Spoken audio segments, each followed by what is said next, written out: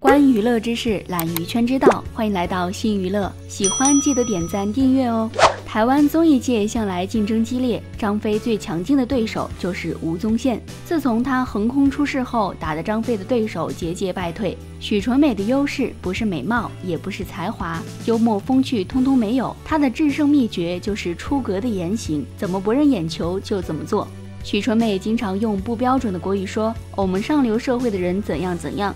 在节目中，他还教小 S 上流社会的人怎样用餐。他在节目中侃侃而谈上流社会的种种礼仪，让人以为他从小就是长在城堡里的公主。但是事实恰好相反，徐纯美出生在一个贫寒的家庭，爸爸在圆山动物园替人照相赚钱，这份看人脸色的工作让他的爸爸经常被人羞辱。这样的场景深深地刺激了年幼的许纯美，她发誓将来一定要成为有钱人。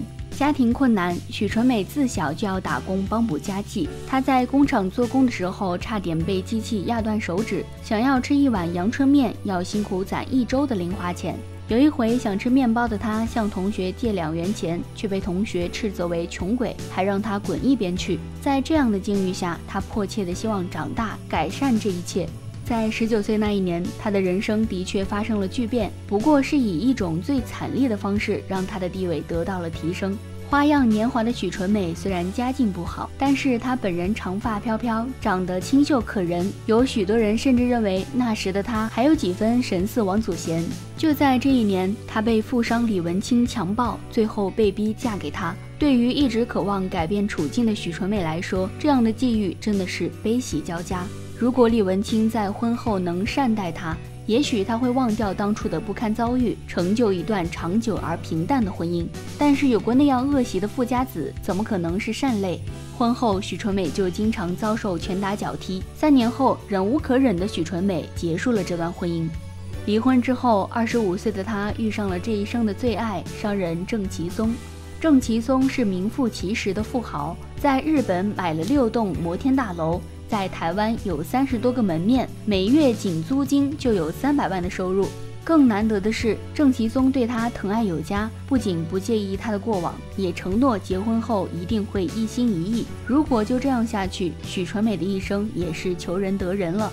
婚后，郑其松也如承诺那般对许纯美万般宠爱，许纯美也在不久后再次怀孕。不过这时却发生了一个小插曲，在怀孕期间，许纯美意外发现郑其松出轨了公司的一个女职员，于是许纯美马上盛气凌人地冲到第三者面前，大声呵斥对方，闹得人尽皆知。许纯美本意只是想让第三者离开丈夫，但没想到对方却在羞愧之下跳河自尽。后来，许纯美肚子里的女儿早产。他也一度因此事惴惴不安，继而神经质地怀疑女儿就是第三者投胎来寻仇的。就这样，在良心不安的情况下，许纯美把这个女儿过继给了表妹抚养，这也为之后她成名的故事埋下了伏笔。郑其松在这件事之后心生愧疚，他没有再出现任何出格的行为。而许纯美与郑其松之间本应该也会有更多的故事，但在2001年，郑其松因肺癌突然离世，将近百亿的资产留给了许纯美，许纯美因此成为了百亿富婆。但他对郑其松的过世一直无法释怀。在他的心中，郑其松几乎给予了他心声，思念之情也让他每每至夜晚总会想起对方的好。从此之后，大受打击的许纯美开始失眠，她不仅需要依靠大量的安眠药才能睡觉，之后每次想起郑其松时，还有过轻生的举动。而就在这个时候，许纯美遇到了小她十五岁的商人黄海明。黄海明虽然条件平平，但许纯美某次自杀时就是被黄海明所救。或许是为了报恩，或许也是急需找到一个感情寄托。许纯美给黄海明买了四百五十万的豪车，并承诺每个月给他五万元生活费。就这样，许纯美开始了自己的第三段婚姻。为报答救命之恩，以身相许。许纯美固然想得简单，但却低估了自己对感情的需求。很快，许纯美便与黄海明分居，但却并未离婚。许纯美精彩的情史还在继续，但就在这时，那个早已被许纯美过继给表妹的女儿，突然被曝光了一则在大卖场流浪的新闻。经过媒体的报道，外界得知这位名叫小云的小女孩的亲生母亲是富婆。随后再经过层层的渲染和调查，许纯美的身份浮出水面。她也在接受采访的时候直言，女儿是亡灵转世，是找我报仇的魔鬼，并以此为由拒绝抚养女儿。成名后遇到了在夜店工作的牛郎林宗一，因其与第二任老公郑其松长得十分相似，许纯美不可救药地爱上了对方。可彼时，许纯美名义上还是第三任老公黄海明的妻子。即使两人早已分居，但出轨还是不可原谅。之后，许纯美与黄海明之间的离婚大战又在媒体的报道下受到了关注。数据显示，两人在那一年互诉的官司最少超过三十起。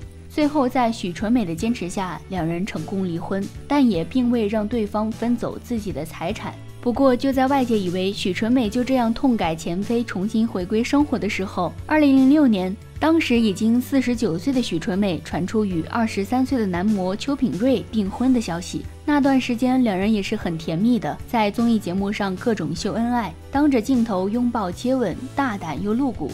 毫无疑问，小奶狗邱品瑞看中的只是许纯美的钱和名气，包括两人订婚的时候炫耀的也是许纯美给他的两百万聘礼、一百五十万的钻戒、五百万的钻石手表等。而且与邱品瑞鲜明的目的一样，他的脾气和性格远远不是许纯美能够驾驭住的。这段感情的最终结局是，邱品瑞后续因欠下一百万赌债，与许纯美爆发争执。在许纯美拒绝帮还的情况下，冲动的邱品瑞对许纯美动手，甚至还将其鼻梁打至骨折。就这样，两人还是走到了分手的结局，订婚也自然被取消。出院后，许纯美与邱品瑞一起召开了记者会。当场，邱品瑞为家暴行为致歉，许纯美则流泪表示，自己给他花的五百多万，就当是报答快乐的恩情。但同时，许纯美也表示，自己曾以为找到了第二个郑其松。许纯美这一番话，既透露了她早已想清楚是花钱买爱的事实，也证明了她对第二任丈夫郑其松的留念。他试图通过金钱的方式买下一场伪装过的甜蜜婚姻，来麻痹自己早已失去的爱情。既然邱品瑞无法完成自己的心愿，那么就另外换一个。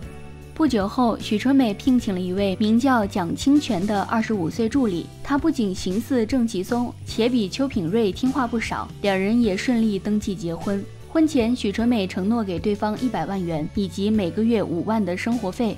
婚后，他又购置了价值五百万的钻戒赠与对方，只是两人这段婚姻仅仅只维持了十八天便宣告破裂。这是许纯美的第四段婚姻，也是最短的一段。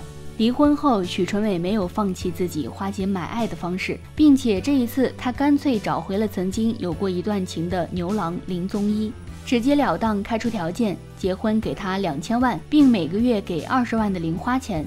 林宗一本身就从事贩卖男色的职业，见许纯美如此爽快，两人很快就达成一致。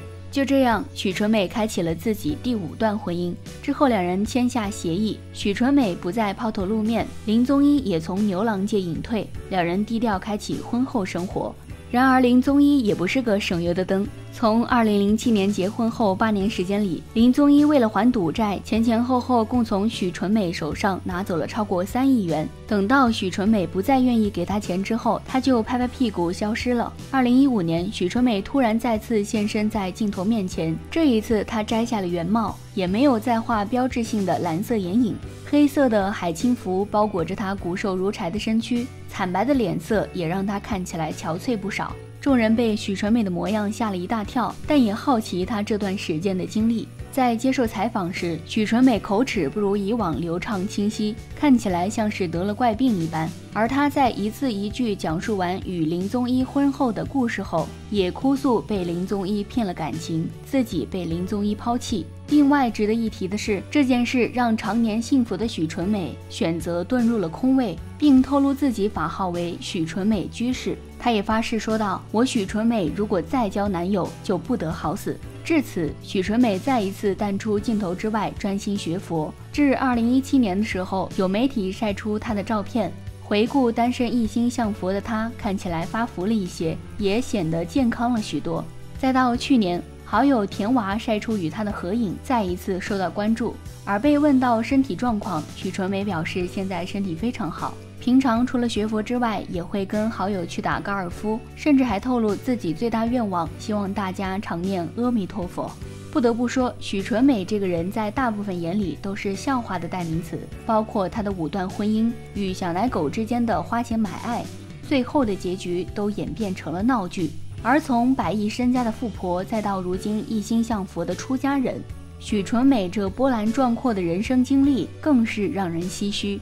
倘若换一种方式，她会不会生活的更加美好？